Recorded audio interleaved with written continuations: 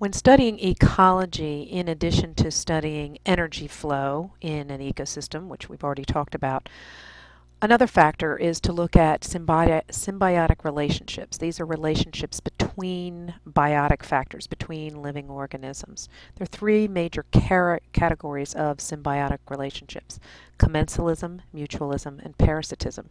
You can see by this Venn diagram that there are some areas of overlap and we're going to try to avoid the examples that um, can be confusing and, and end up in that overlap. We're going to concentrate on each of the three different forms of symbiotic relationship.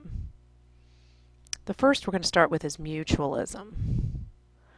And many of you will recognize what's growing on this tree, I hope. In your mind, think of what it is. It's a lichen and it's composed of different organisms in a mutual symbiotic relationship. The definition of mutualism is that they both benefit. In this case, the mutualistic relationship is between a fungi and an algae. And here's a cross section of a lichen. So this entire thing is a lichen. And we see the fungal hyphae, thread-like structures, embedded in here we have the individual algae. Now, they both benefit, but how do they both benefit? The, fungi, the fungal hyphae are absorbing water and nutrients, and the algae are performing photosynthesis. That way they get nutrients from both of these, and depending on what's going on in the um, the climate change or just what's going on seasonally, uh, any changes in the environment, they're able to share their resources. Um, and so this is mutualistic. They both benefit. This popular example of mutual mutualistic relationship are the acacia trees found in predominantly tropical rainforests and ants. And this is a website that shows a, a variety of different photographs involving the ants and the acacia relationship. Here's what the acacia trees look like. Uh, most of these have been stripped of most of their leaves. In addition to rainforests, there, it can also be found in some of the grassland areas. There are famous pictures of giraffes eating them.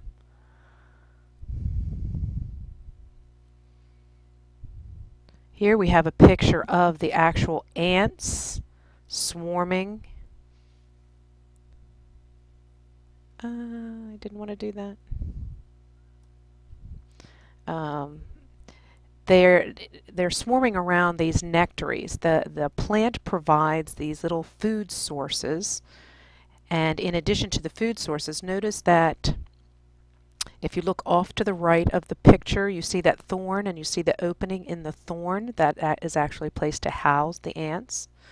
So the ants are certainly benefiting from the relationship. Here's another view of a nectary being, being provided with food.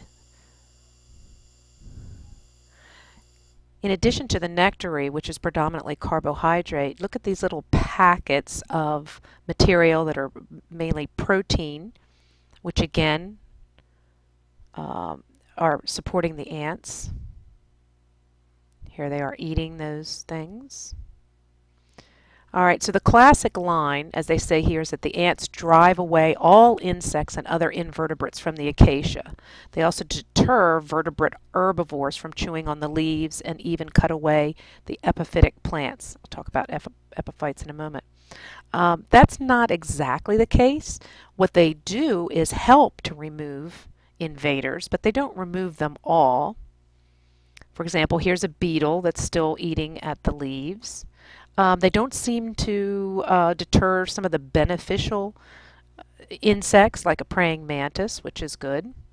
Certainly organisms like birds continue to build nests in the acacia and some uh, here we have an example of some types of wasp nest in the acacia. But these insects are not harming the acacia. They're just they're just using the facilities as it were and our good old stink bug there so what it, the way that it's a mutualistic relationship is that um, they're both benefiting. The acacia tree is benefiting by having some protection by the ants. The ants are benefiting by having food and housing provided in the acacia tree itself. All right, a second example of symbiotic relationship is parasitism. This is the one you're probably most familiar with. Uh, we've been talking about parasites since you were in elementary school. Certainly a mosquito. Um, in any parasite relationship, the uh, parasite itself benefits and the host is harmed. In some cases, uh, it could be even be killed.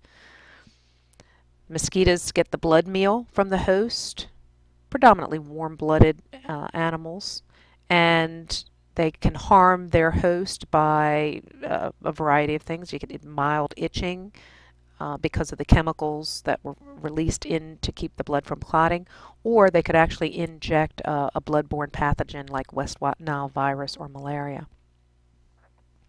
A tapeworm is another prime example of a parasite. Here's a tapeworm that's been removed from the gut of an organism. Uh, that organism could be a human being. They live in the digestive tract and they rob that organism of nutrients so that the nutrients aren't absorbed into the animal. One more example, and this one may not be as uh, familiar to you. This green object here is a tomato hornworm. And they like to eat tomato plants. So if you were growing tomatoes this summer, you may have seen one. But all of those little white structures that you see are not part of the hornworm. They are actually eggs that are developing into larvae. They were laid by this wasp and they lay them in huge numbers as you can see there and they've attached to the hornworm and as those larvae begin to, to grow and develop they will take their nutrient suck it through the, the skin of the hornworm and actually you know kill the hornworm in the process. Third relationship is commensalism. And in commensalism, one of the organism benefits and the other it neither benefits nor is harmed. Here's a very common example. We have a whale and that's the organism that it neither is benefited nor harmed by the barnacles. The barnacles are living on their surface. And I particularly like this paragraph because there's a lot of vocabulary here uh, that you need to become comfortable with. So barnacles are crustaceans whose adults are sedentary. Uh, think about what sedentary means. It means they don't move on their own. The motile larva, motile means it can move on its own, find a suitable surface and then undergo a metamorphosis. So they undergo some type of physical change and chemical change to the sedentary form. The barnacle benefits by finding a habitat where nutrients are available. So in the case of lodging on a living organism, it gets transported around through the water, lots of new sources of food. Uh, basically, it's hitching a free ride. But the presence of the barnacle does not appear to hamper or enhance the survival of the animals carrying them. Unlike the bottom of a boat, uh, the whales don't have to have the barnacles scraped off.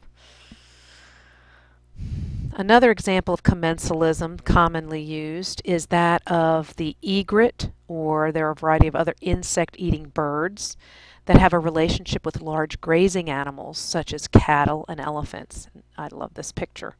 The birds benefit from being in close proximity to a large beast, and that large beast attracts insects. So some will argue that this is mutualistic because the birds reduce insects that may pester the large animal, but it usually is used as a commensal example. The uh, um, large animals don't benefit that greatly. And a final example of a commensalistic relationship are a category of plants called epiphytes. Um, orchids are epiphytes. They grow in the tops of trees or high up on a tree trunk as you see in this picture.